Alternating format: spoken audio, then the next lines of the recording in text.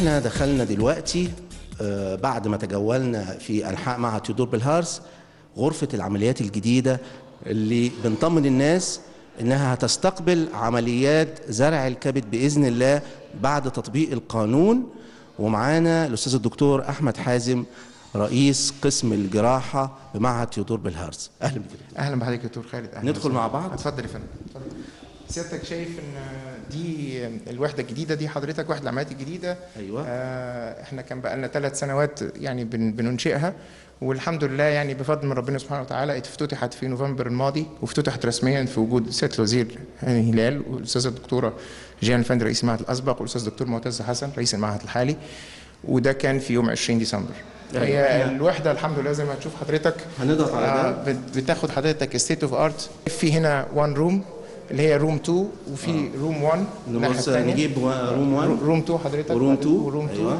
آه، ده المكان حضرتك بتاع التعقيم بتاعنا. بتخش الجراح بيبتدي يتعقم من هنا ويدخل بعد إذن حضرتك من من المكان من الباب ده ومن الباب ده وبرده بيخش اوتوماتيك بالطريقة اللي هي بعد التعقيم من غير ما يلمس أي حاجة خالص. هي حضرتك آه، room 1 موجودة هنا. آه، دي room 1 حضرتك ادي آه، هو في في أوضة في حالة شغالة دلوقتي حاليا من أيوة. قسم المسالك استئصال مثانة بالكامل نتيجة سرطان مثانة وبرده الناحية الثانية الأستاذ الدكتور محمد الوشاحي رئيس الاسم الاسبق برده شغال حضرتك آه، استئصال مثانة من آه، من الناحية الثانية ودي برضو من الشروط دي من الشروط؟ الأساسية ان يبقى في أوضتين عمليات مجهزين بأحدث الأجهزة وباجهزه التخدير وأجهزة مراقبة المريض أثناء العملية وأوريدي الأدوات بتاعة العملية والإمكانيات اللي موجودة من ضمن الحاجات الكويسة جدا حضرتك إن كل أوضة من أول العمليات مجهزة بثلاجه من ثلاجات اللي هي منتجات الدم؟ ومشتقات الدم لا آه. الدم منتجات الدم. مشتقات الدم مهمه جدا جدا ال- ال- السكاكين حضرتك ال monitor بقى ال monitor اللي هنا حضرتك معظم الأجهزة اللي متركبة متركبة فيها built in يعني متركب فيها حضرتك ال cameras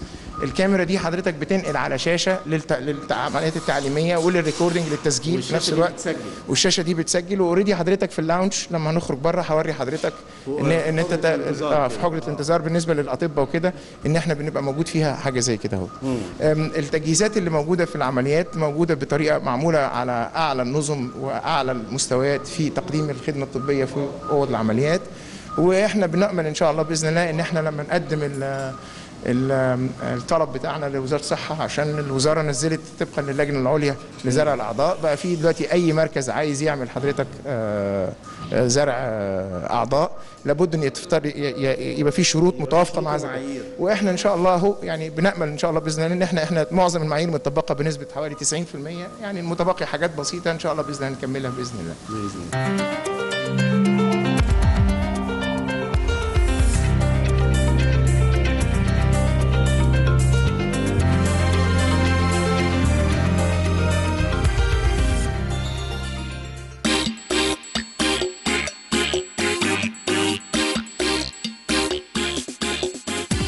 بعد ما شفنا آه، حجرات العمليات آه، في قسم ال- الجراحة وغرف العمليات اللي هتنتظر بإذن الله آه، واللي مجهزة الحقيقة على أعلى مستوى عمليات زرع الكبد بالكامل. دكتور أحمد حازم رئيس قسم الجراحة معانا. إحنا دلوقتي في حجرة لا فيها سرير عمليات ولا فيها أي حاجة إيه الحجرة اللي إحنا اولا دي اولا دي غرفة الانتظار بالنسبة الخاصة بالنسبة للاطباء أيوة. وزي ما أنتم شايفين في الخلفية بتاعتي في screen بي بيعرض كل العمليات اللي بتشتغل ممكن جوه. يبقى تدريب بقى يا دكتور أحمد؟ آه لأن إحنا كمان already حضرتك ده برضو في و- في already connections من أوضة العمليات لقاعة محاضرات بتسع 100 واحد. و already كمان يعني حتى على جنبنا هنا في الشمال ده الجهاز بتاع ال- الرا- ال- كل الراوتر بتاع الكمبيوتر عشان كمان كان يكون ال infrastructure موجود هنا كله مجهز بالكمبيوتر. أقول لك على إحساسي يا دكتور اتفضل. أحمد.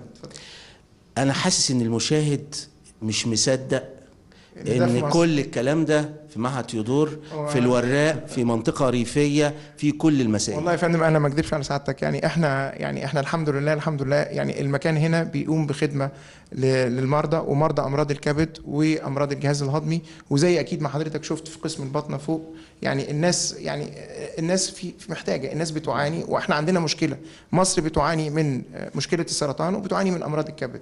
وده بالنسبة لنا حضرتك هو الهدف وهو الأساس في آه، التعامل مع المرضى هنا في معهد تيودور بلهارس. سؤال أخير مكافحة العدوى بقى بتعمل فيها إيه؟ إحنا إحنا عندنا هنا يعني قسم مكافحة العدوى يعني من من من أقوى الأقسام اللي موجودة في المعهد لأنه بيحاول بقدر الإمكان إنه يطبق كل المعايير الدولية.